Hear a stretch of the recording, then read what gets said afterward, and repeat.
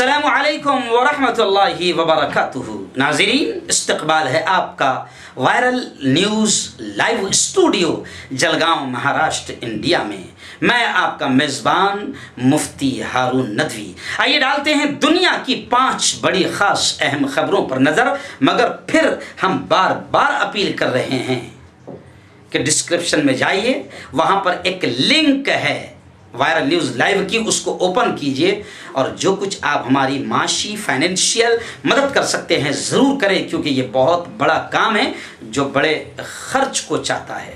ہندوستان میں دو ہزار سترہ اکتوبر سے ہالی ووڈ سے شروع ہوئی مہم می ٹو، جس کے ذریعے خواتین، مہیلائیں اپنے ساتھ ہونے والی جنسی ہراسانی، سیکسول ہریشمنٹ کا معاملہ شیئر کر رہی ہے، جس میں ہالی ووڈ اور میڈیا اور اب بھاجپا کے ایم جے اکبر بھی پھنستے نظر آ رہے ہیں۔ ہندوستان کی یہ مہم می ٹو اب دنیا بھر میں پھیل گئی۔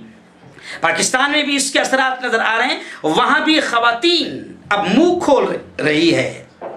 پاکستان کے نامور اینکر رابعہ انعام نے مبہم ٹویٹس کے ذریعے ایک مقبول سوشل میڈیا اسٹار، اداکار کامیڈین پر الزام لگایا کہ اس نے درجنوں لڑکیوں کو جنسی طور پر ہراساں کیا اور انہیں خاموش رہنے پر مجبور کیا۔ سعودی نژاد، امریکی شہری اور صحافی جرنلسٹ جمال خاشقجی کی گمشدگی کا معاملہ گرما رہا ہے۔ یہ وہ ہیں جنہوں نے گزشتہ سال سعودی ولی عہد محمد بن سلمان پر کافی تنقیدی آرٹیکلز مضامین لکھے تھے۔ ترک حکام کا کہنا ہے کہ جمال کو سعودی قونصل خانے کے اندر قتل کر دیا گیا۔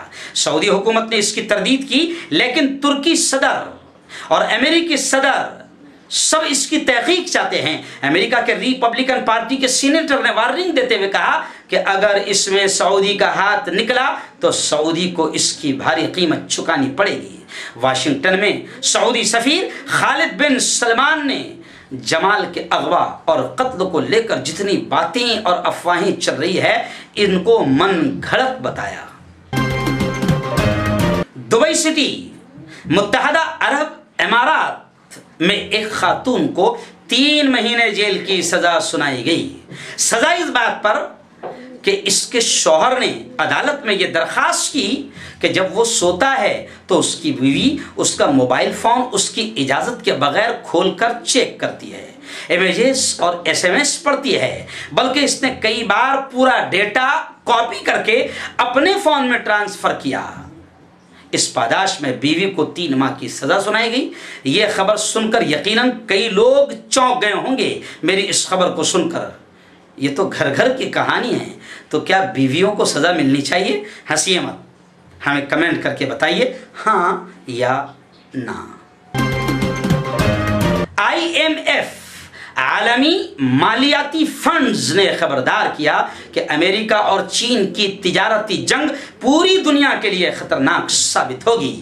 پوری دنیا میں غربت بڑھے گی اور دنیا انسانوں کے لیے خطرناک جگہ بن جائے گی۔ اگر اسی طرح امریکہ اور چین کے درمیان درآمدی اشیاء پر ٹیکس لگانے کی جنگ جاری رہی، تو پوری دنیا کو اس کا خمیازہ بھگتنا پڑے گا۔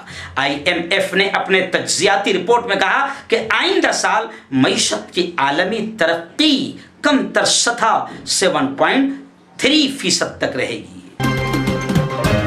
یمن میں سات جماعتوں جنرل پیپلز کانگریس سمیت سات جماعتوں نے یمنی عوام پر مسلط کی جانے والی جنگ اور اس کے برے نتائج کا تمام تر ذمہ دار حوثی ملیشیا کو قرار دیا اور کہا کہ اگر حوثیوں کی جانب سے بزور طاقت سیاسی عمل کا تختہ نہ الٹا جاتا، نہ پٹل جاتا، تو آج یمن میں امن و امان اور ہر طرح کا معاشی سماجی استحکام ہوتا، یمن مضبوط ہوتا۔ حوثیوں نے ریاستی اداروں پر قبضہ کیا اور ان کو بیرونی ہدایات پر چلایا۔ آئینی اور دستوری حکومت کا خاتمہ کر کے یمنی عوام کے حق کے رائے دہی کو پامال کر ڈالا اور پھر جنگ کو برقرار رکھنا چاہتے ہیں، انہوں نے یمن کی ریاست اور یمنی عوام کو تباہ کر دیا ہے۔